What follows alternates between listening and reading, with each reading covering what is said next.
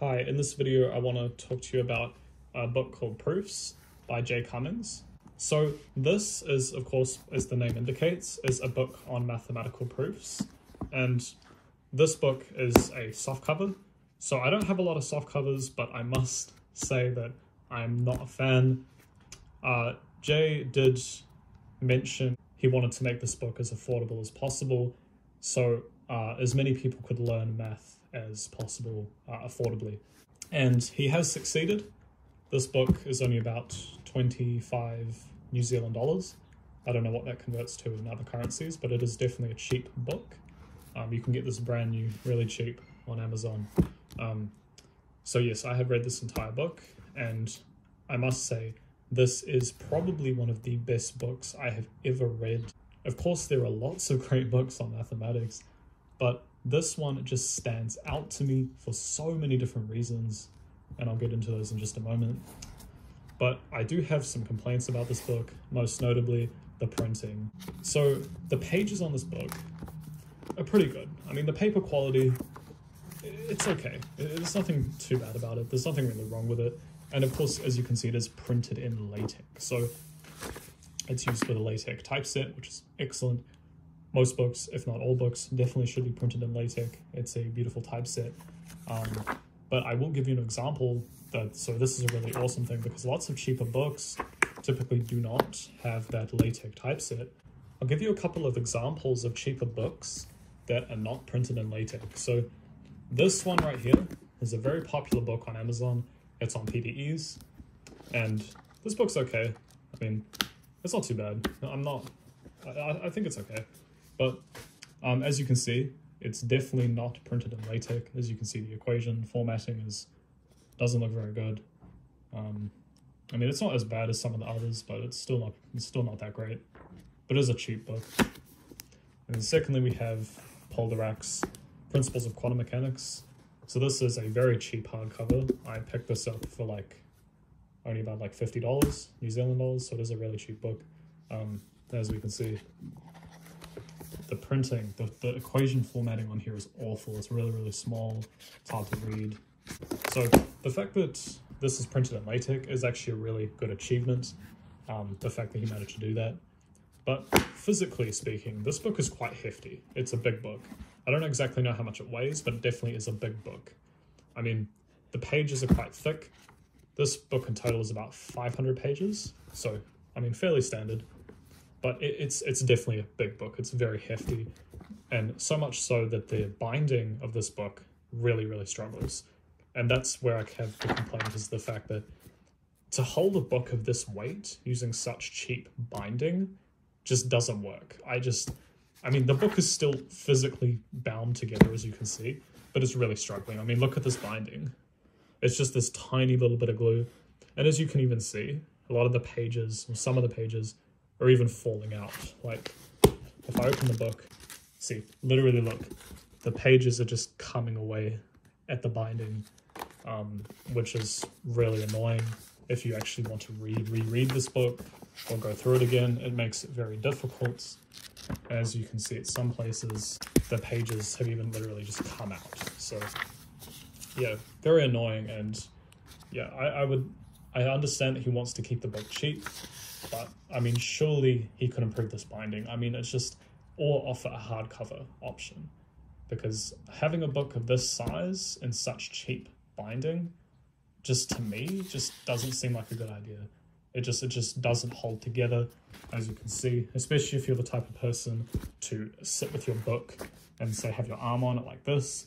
Not a good idea. if you do that, you'll end up with with this. As you can see, the the pages are literally just coming away from the binding. So other than that, let's get into the book.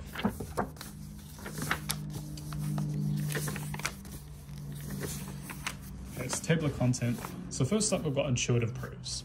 Now, I absolutely love the way Cummings has uh, late has uh, set out this book. It's incredible. There's so many cool things he does. Um, so intuitive proofs talks about the pigeonhole principle. But yeah, just really, this book is very pedagogical. He has an incredible style that is totally different from most um, traditional mathematical textbooks. A lot of his stuff is very conversational, it's really easy to follow.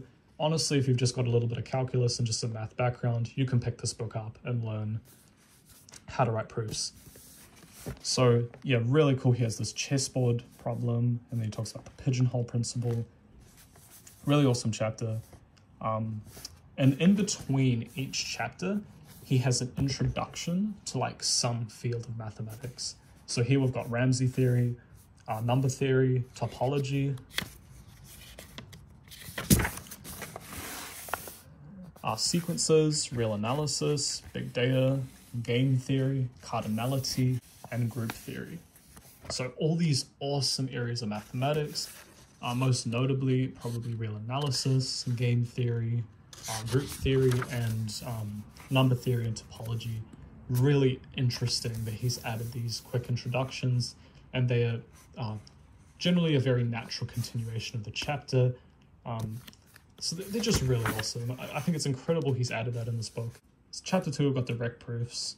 So this is more about modular arithmetic and divisibility. And of course, he talks about proof by cases, which is a very fundamental method of proof. This is a really cool chapter because it's quite simple uh, when it talks about um, uh, just even and odd numbers and divisibility and just directly proving different things like um, the square of an odd, of an odd number is odd and all that kind of stuff. So really good chapter. I mean, the modular the modular arithmetic is a little bit more tricky, um, but yeah, fun. It's a really good chapter. I really enjoyed it.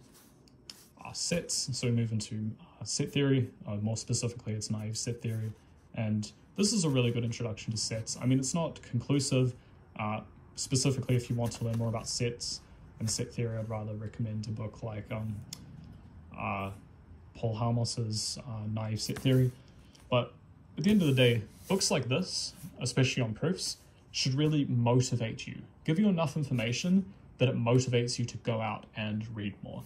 So, good introduction to sets really just gives you all the basics and some really fun proofs. I really did enjoy the section on sets. We've got introduction to topology.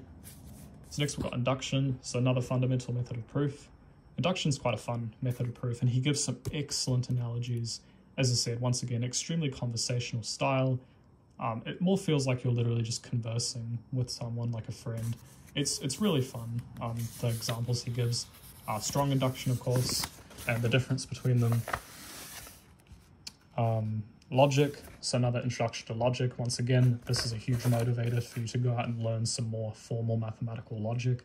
Um, even more so if you're interested, some more like applications to philosophy, like philosophical logic really fun chapter. Thoroughly enjoyed it. Lots of humor in this book too, especially in the footnotes. Really like great humor. He's got a great sense of humor, this guy. Lots of memes too, I'll show you in a moment. Number six, the contrapositive. This follows very naturally from logic, of course, since it's a concept within logic. Um, he uh, uses the contrapositive to prove um, various different things. Really awesome, really great proof method. He illustrates it extremely well. Next up, contradiction. It's another really fundamental method of proof. He talks about some really cool stuff in here, like Euclid's proof of the infinite prime numbers and the Pythagorean theorem. Functions. So this is more of an abstract sort of chapter. Concepts in here are really cool. He illustrates them extremely well. Really always just easy to follow anything in this book. Um, talks about uh, injections, surjections, and bijections, and invertibility. Lastly, we've got relations. So this is where he kind of completes um, the uh, your understanding of functions, that kind of stuff. And just it's a more of an abstract sort of chapter, but still, regardless, it's a really awesome chapter. Absolutely loved it. And then he has some appendices. First of all, we've got other proof methods.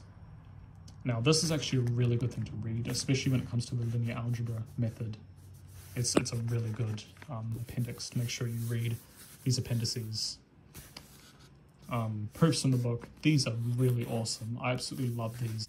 And of course, at the end, he's actually got some writing advice for LaTeX, which is really cool. And I actually did learn some from this when I'm writing up my LaTeX documents.